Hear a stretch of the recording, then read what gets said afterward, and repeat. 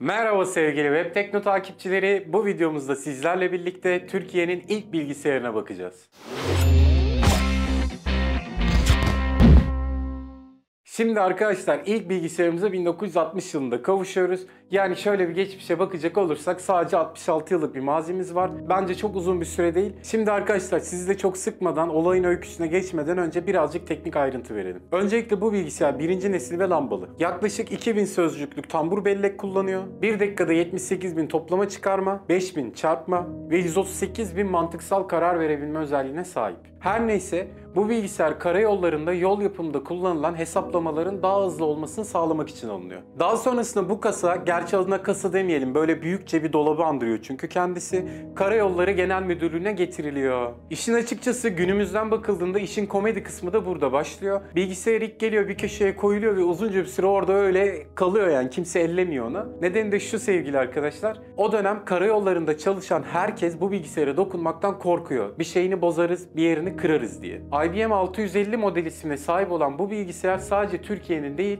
neredeyse tüm Balkanlarında ilk bilgisayarı. Yani sorun sadece bizde değil. Tabi toplum böyle bir aleti ilk kez görünce tepki koymakta gecikmemiş. Başta gazeteler olmak üzere pek çok yerde ne gerek var böyle bir alete diye eleştiri yazıları yayınlanmaya başlamış. Bu dedikodular birbirlerini kurmaya devam ederken Karayolları Genel Müdürlüğü bu bilgisayarı kullanabilecek birisi için ilan veriyor. Fakat ne yazık ki hiç kimse çıkmıyor. En sonunda o dönem bilgi işlem merkezinde çalışan ve birkaç tane de başarılı işi yürütmüş olan Orhan Kampulat bu projenin başına getiriliyor. Günümüzde neredeyse tüm işlemlerimizi tek tıkla yaptığımız bilgisayarları o dönem kullanabilmek için işin başına getirilen Kampulat öncelikle mühendisler, fizikçiler ve matematikçilerden oluşan bir ekip kuruluyor.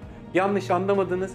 Bu Türkiye'nin ilk bilgisayar ünvanına sahip olan IBM 650 aynı zamanda Türkiye'nin ilk bilişim ekibinin de kurulmasını sağlıyor. Ekibin amacı da bu bilgisayarı çözmek. Muhtemelen kendi başlarına biraz böyle uzaktan filan incelemiş olabilirler. Bu kısmını tam bilmiyorum ama olayı öğrenebilmek için Amerika'dan bir mühendis talep ediliyor ve mühendis gelip böyle giriş seviyesinde bilgisayarın nasıl kullanılacağını, işte neresine dokunursan ne olacağını bizimkilere anlatmaya başlıyor. İlk eğitimin akabinde o dönem IBM'de böyle bir pozisyonda müdür olarak çalışan Gündüz Pamuk Amerika'dan Türkiye'ye davet ediliyor. Davetin amacı da şu, ikinci eğitim süreci. Bu eğitim süreci de yaklaşık bir buçuk ay sürüyor arkadaşlar. Fakat bu bir buçuk ayın sonunda artık bilgisayarı işlevli olarak kullanabiliyoruz. Daha öncesinde işte hesaplamalar bir buçuk iki ay sürerken bu bilgisayar sayesinde bu işler dakikalara iniyor. Tabi bunun sonucunda karayollarında birileri işten çıkarılıyor mu çıkarılmıyor mu bu kısmını bilmiyoruz. Belki de adamlar tedirginliklerinde haklıydı. Bu bilgisayar tam 12 yıl boyunca bize hizmet veriyor. Önce İTÜ sonra ODTÜ olmak üzere üniversitelere yayılmaya başlıyor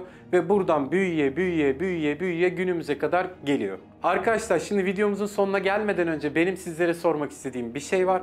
Ülkemize tam 12 yıl boyunca hizmet eden IBM 650'ye hakkınızı helal ediyor musunuz? Ben şahsen ediyorum ve bu cümleyle de videomuzun sonuna geliyorum.